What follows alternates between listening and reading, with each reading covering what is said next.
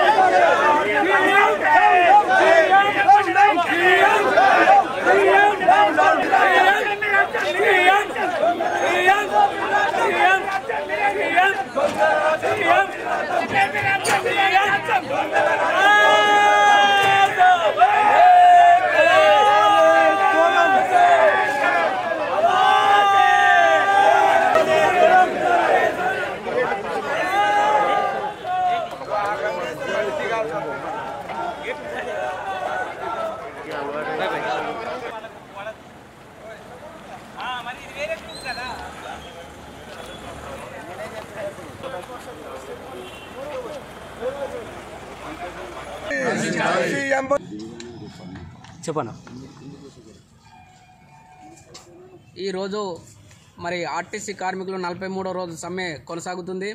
దీనికి సందర్భంగా మనము ఈ జేఏసీ పిలుపు మేరకు మరి సిద్దిపేట డిపో ముందు మా మా కార్మికులందరూ వచ్చి మరి బటాయించడం జరిగింది. దానికి అనుగుణంగానే మరి పోలీసులు వచ్చి మా ఇష్టారీత్యంగా వచ్చి మనలను గొరగొరగా తీసుకొచ్చేసి వ్యానిక్రియడం అనేది జరిగింది. ఇది సమంజసం కాదు.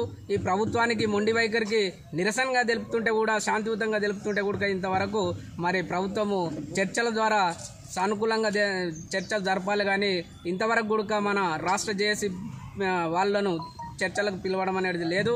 మరి ఆ చర్చలు ఈ వారం గుడుక మరి తెలంగాణ వచ్చినప్పుడు కూడా చర్చల ద్వారానే తెలంగాణ వచ్చింది. మీరు ముఖ్యమంత్రి అయినరు. మరి ఇప్పుడు చర్చలు ఎందుకు జరుపుతలేరని ఈ సందర్భంగా మన ముఖ్యమంత్రి గారిని కోరుతున్నాం.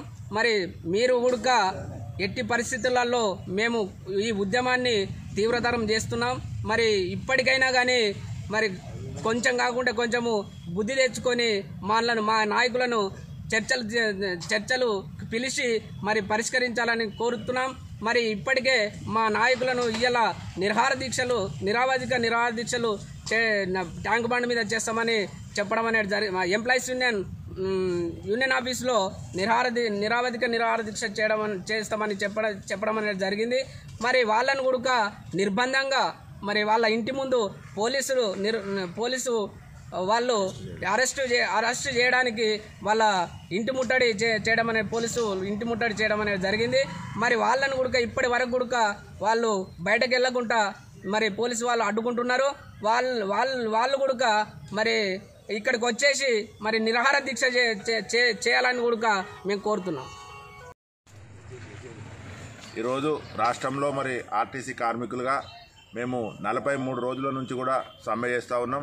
ఈ నలభై మూడు రోజుల నుంచి కూడా మరి ఎలాంటి విద్వాంసాలకు పాల్పడకుండా శాంతియుతంగా మేము నిరసనలు తెలుపుతూ ఉంటే కూడా మరి రాష్ట్ర కమిటీ పిలుపు మేరకు ఈరోజు మరి డిపోల ముందు ధర్నాలు నిర్వహించే కార్యక్రమం రాష్ట్ర రాష్ట్ర కమిటీ ఇచ్చినది కాబట్టి దానికోసం మేము ఉదయం వచ్చి మరి ధర్నా చేద్దామని ఆలోచన చేసుకున్న సందర్భంలోనే మరి మేము అక్కడ డిపో కాడికి పోకుండా కూడా పోయినా ఒక్క నిమిషం కూడా అక్కడ నిరసన తెలిపే అవకాశం కూడా ఇవ్వకుండా మరి పోలీసు వారి ద్వారా మమ్మల్ని నిర్భయంగా నిర్భంగా మరి అదేవిధంగా పశువులలాగా లాగినట్టు గొరగొర గుంజుకుంటూ ఒక్క రెండు నిమిషాలు కూడా కూర్చోకుండా మరి ఈరోజు పోలీసులు మమ్మల్ని